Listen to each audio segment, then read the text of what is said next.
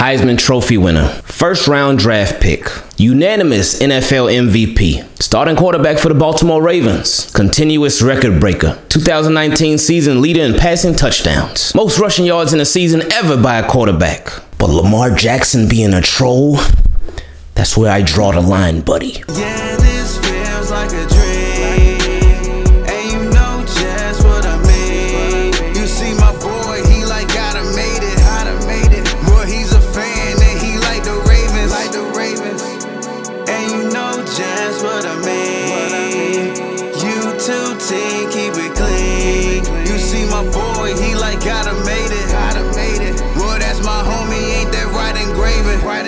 So YouTube, team keep it clean. What's going on? It's Ingraven here with another video. And in this video, Lamar Jackson actually admitted to trolling so many people who thought he wanted to leave and thought that he was thinking about other options and whatnot. He admitted that he was messing with them the whole time.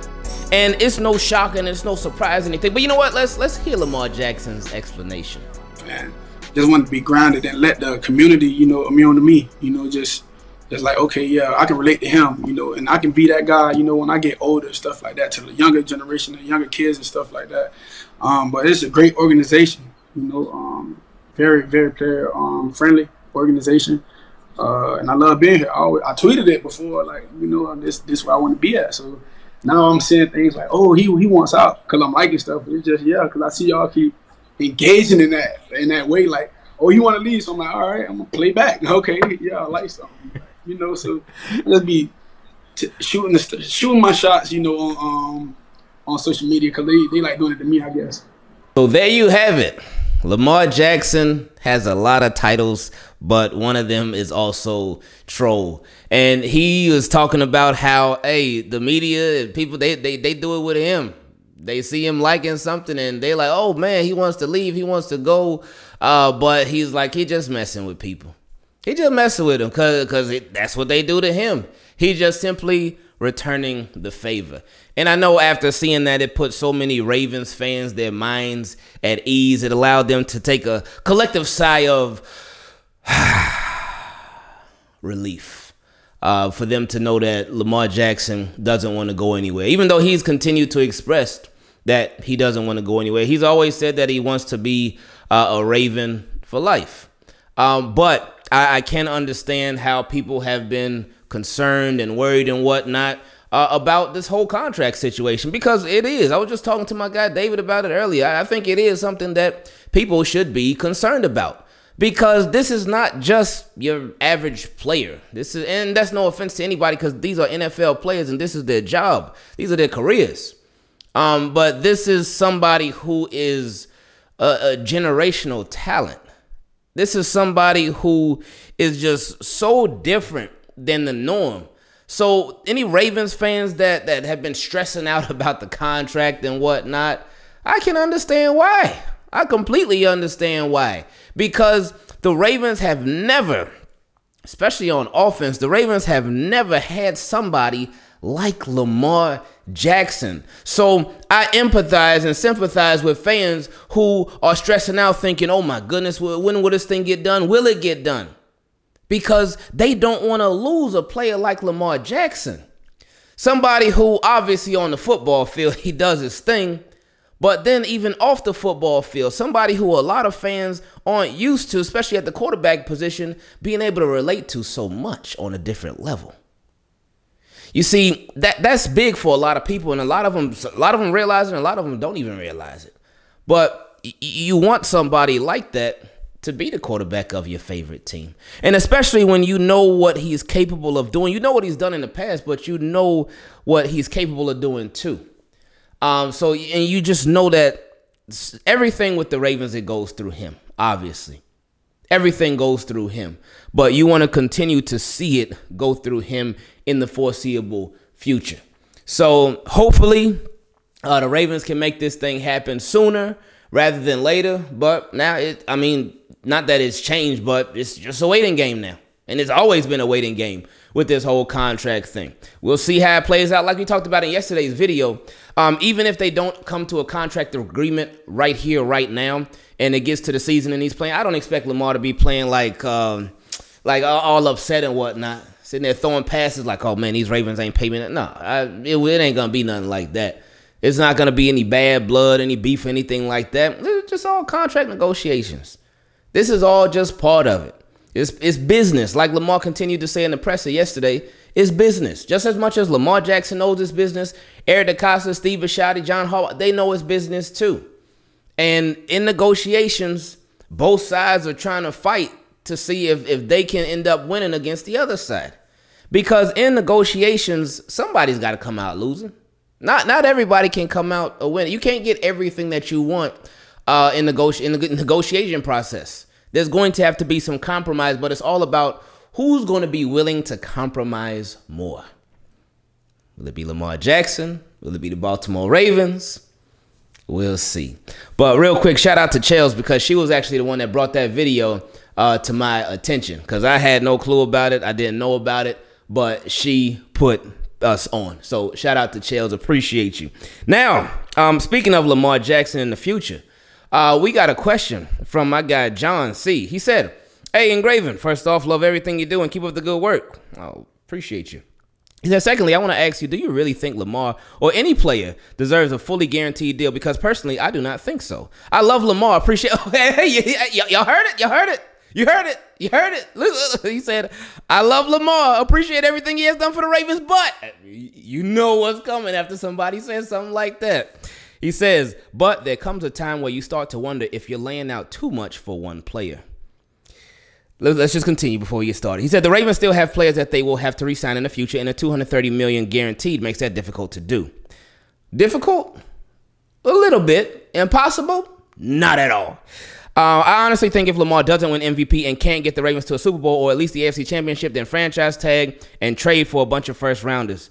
And we can try out one of the QBs from the stack 2023 draft class, which are full of talent. Thanks. Ooh, oh man, yes, disagree to to the max right here, because my thing is, why would you want to start over? Why would you want to start over just because you got to pay somebody some bread? You want to you you really really willing to start all over? Me, I'm not. Again, Lamar Jackson is not just your average quarterback. Like, yeah, shout out to all the guys that's coming out of the draft in 2023, but you have Lamar Jackson right here, right now, and you haven't even maximized his potential. Why would you want to let him leave for a couple of draft picks? Even if you got two, three draft, first round draft, you would want Lamar to leave for that? And it's like with, with the draft, we know it's a risk. Nothing is guaranteed. But with Lamar Jackson, you again, he hasn't even he scratched the surface a little bit, but not as, as he ain't tore down the surface yet. He is capable of so much more than he's even done, and he's done a lot. So to for, for, for no, if to franchise tag him and trade him, no, why? What? No, I I can't get behind this. Not one bit, man. Not at all. But that that's no. Now, as far as the, the guaranteed money, um, I wouldn't be mad at Lamar at all asking for fully guaranteed. We don't know what he's asking for. Those apparently are the rumors that he wants more guaranteed money. And I mean, why wouldn't he? Deshaun Watson, he, he ain't looking at Deshaun Watson contract like it's the, the outlier. No, of course he's not. I'm sure he'd be looking at that like, hey, I want that to be my norm. But anyway, like in football, these dudes, not only can their careers change at the, the, the blink of an eye, um, but their lives can, because football is obviously a very dangerous sport. It's a very violent sport. It's a very physical sport. Well, Lamar Jackson, he is asked to be QB one, obviously starting quarterback for the Baltimore Ravens, but then he's also asked to be RB one, because they they run him a lot. So the fact that he has to do so much for the football team and be such a big part of what they do, why not ask for the most money? Why not ask for guaranteed money? Why not ask for all the bread that you can possibly get? Why not? If you, at your job, if you had to do this, you had to do your own job, and you had to do another job, and you have been doing all these different jobs for four years straight, and you have been underpaid, and a lot of your peers around you do some of the same, some may do less, some may do more, but a lot of your peers around you they getting paid a boatload of money. are you gonna be like, oh no, um, no, I, I I could just go to a, a different company, and we'll see how it works out there. No, you're gonna be you're gonna want to get paid from the company that you're at for everything that you have done and everything that you're doing. You're gonna want to get your bread. So I don't fault Lamar for trying to get his. And I mean, we, we done started doing a couple questions. We might as well throw in a couple more before we get out of here. Next question came from my guy BB. He said, Has Isaiah likely taken the tight end two position away from Nick Boyle? And should the Ravens keep Boyle or trade him? What are your thoughts? Now, I don't think he's taken anything because we haven't seen a game yet. We haven't seen a game. Now, I, I, think they will definitely try to get him out there a lot. Now, and, and I could I could understand how you could think that they that he may have taken it already based off of the preseason, uh, because he was out there. Then they took him out. Then Nick Boyle was out there a lot. He was out there a whole lot. Uh, but at this point, trading Nick Boyle, uh, I mean, you might as well keep him. Might as well. Um, you got an extra offensive lineman slash tight end pass catcher. Um, yeah, you might as well keep him and, and hope that hey that he's really just getting his feet back under him again. Um, so you have even more depth at, at the position. Uh, Isaiah Likely, though, I, I, do expect him to be out there a lot. I do expect him to uh, eventually play more uh, than Nick Boyle, um, simply because of everything that he can do, um, and, and, how much of a, a, weapon and a threat that he is on a football field as opposed to to a Nick Boyle. And that's no offense to Nick Boyle, of course, um, but Isaiah Likely is just they're two different types of tight ends. Isaiah Likely the, the, the playmaking tight end, Nick Boyle is the blocking tight end. So I think they're gonna want to have that playmaking tight end out there on the field a lot more to make plays. Next question came from my guy Sebastian. He said, I just rewatched Flacco's Super Bowl run and Joe was really gambling with the football with them throws, man. Risky throws, yet Anquan comes down with it every time. Anquan is a big physical dude, can't be pushed around, and I love it. Lamar seems to have his Torian Jacoby and Bateman and Demarcus. Mm, I, I yo no, I don't get Torian Jacoby from Bateman and Demarcus Robinson. Maybe Torrey Smith from Demarcus Robinson, but Jacoby uh, or Torrey Smith as Bateman, no, no, no, no, no, no. I don't get that at all. Bateman is more of a. Uh, I think he has definitely had the potential to be better receivers than those guys. Those guys are big play guys, deep threat guys. And Bateman can be a deep threat guy, but he's more well rounded as far as being a route runner than those guys are. He's more polished, I guess. Um, but he said uh, Lamar seems to have his Torian Jacoby and Bateman and Demarcus. You think likely can be the Anquan to Lamar? I've heard of quite a bit of people um, compare likely to Anquan Boldin, And hey, hopefully he can be because he's big. He's a little shifty guy, uh, especially for a tight end. And um, if he can be that, that would be great because that would give Lamar somebody else that he could trust, somebody else he could throw it up to and they come down with it. They go up and get it. Uh, that third down receiver slash tight end, whatever. Um, and just somebody who's just reliable. If likely can be that, then we're likely to have a lot of success. Next question came from the guy Ethan. He said, "This is the Wednesday before the game, and am I the only one whose heartstrings feel a little pulled seeing Flacco start against us? I'm only 20, and this man was the first quarterback I was blessed to actually watch. Anyway." Lamar finna do his thing. Ravens flock all day. Have a good day, sir. See, Ethan, the emotions were kicking in for Ethan. But then he quickly realized, he said, wait a minute. Flacco's the enemy now. So I ain't riding with Flacco no more. It's Lamar all day. This question came from my guy Deshaun. He said, I'm watching the Ravens Wired episode three, and it features Demarcus Robinson. He talks about how he got here. His words were, What made me come here was the call from Eric DeCosta. He gave me a call, and I said, I am leaving the Raiders for the moment and I was checking a couple of other teams, but he was the first to call, which sounds like the Raiders wanted him back on the practice squad. He goes on to say, I went to Arizona to meet him, and we had a long talk Thursday and Friday before the Cardinals game. He also said, Once I came here for a visit, everyone made me feel like this could be home, and I didn't want to leave. He also mentions about meeting Lamar and a couple other guys whose name he didn't mention apparently wanted him in this offense. Could we finally see what is in the vault this year? Uh, I don't know what this means to anyone else, but to me, it says a lot because we heard about a lot of guys not wanting to come and play in this type of offense, but it seems like DeMarcus has invested in his team and he wants to be here.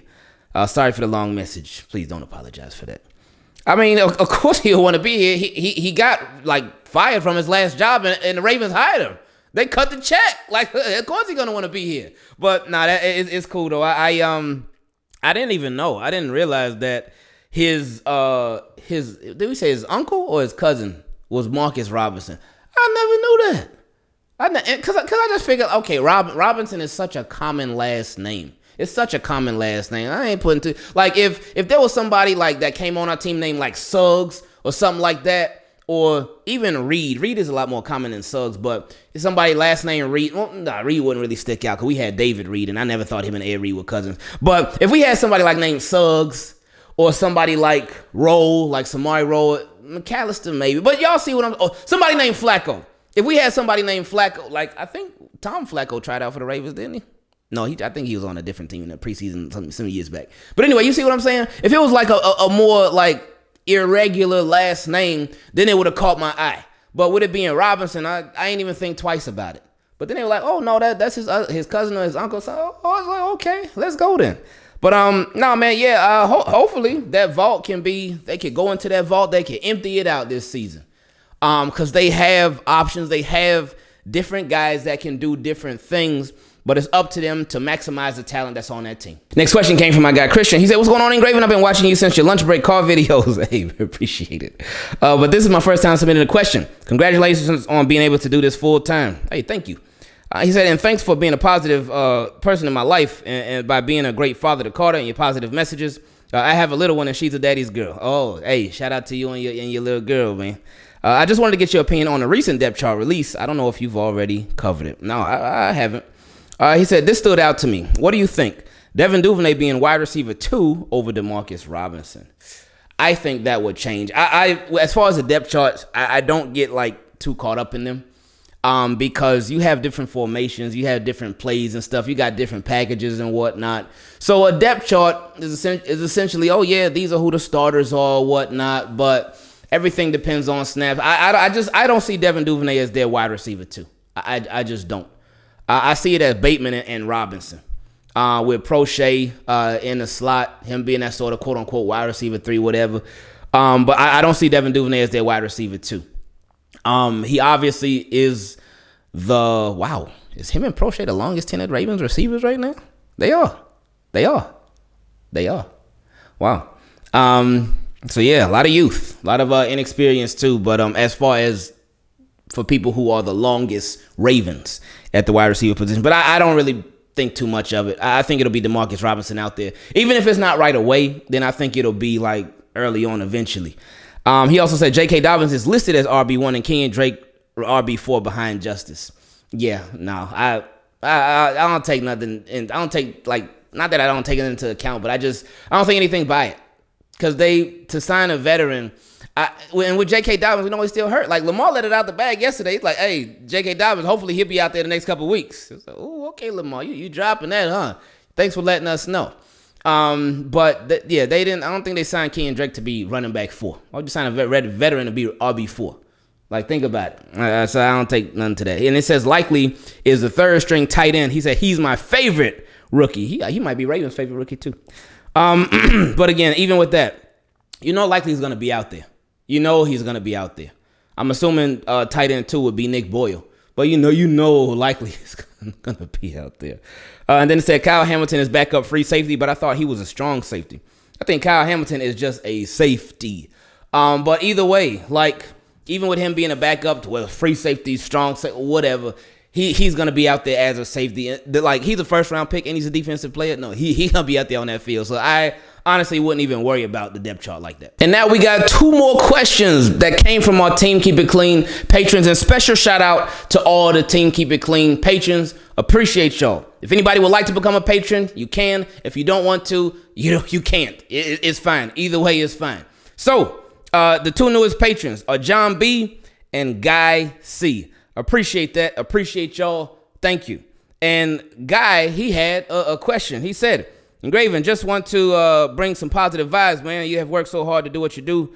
Uh, you make me proud to be a part of the flock. Thank you for the integrity, positivity, entertainment, and joy uh, you bring to my day. I don't have a question, but just wanted to say, let's go, Ravens flock. It's a blessing being able to watch our team put hard work, talent, and teamwork on the field for one another and our entertainment. Couldn't ask for a better community to enjoy this franchise with. Big trust and God bless, fam. Wow. Hey, I, I appreciate this, man. Thank you. Thank you for that that that positive message. Uh, thank you for uh, becoming a patron. Thank you for showing support. Thank you for, excuse me, rocking with Team Keep It Clean, man.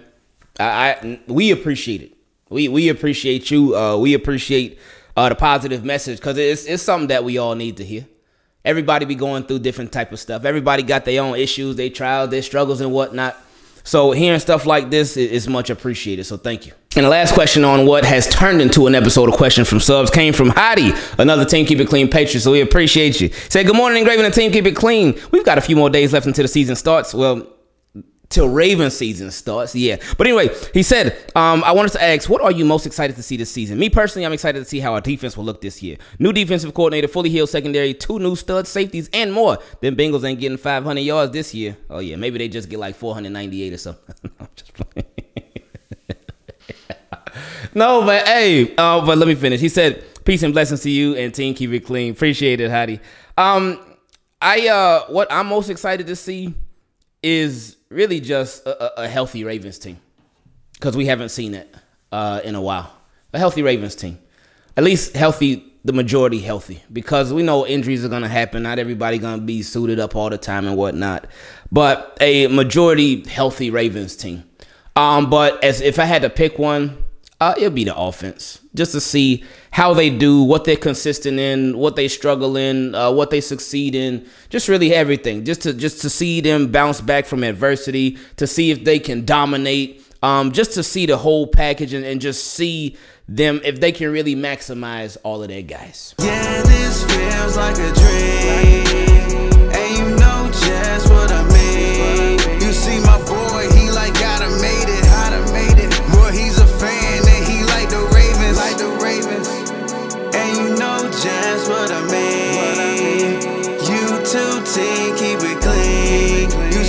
boy, he like gotta made it. Gotta made it. Boy, that's my homie, ain't that right Ingraven? Right Ingraven. Shout out to Ingraven.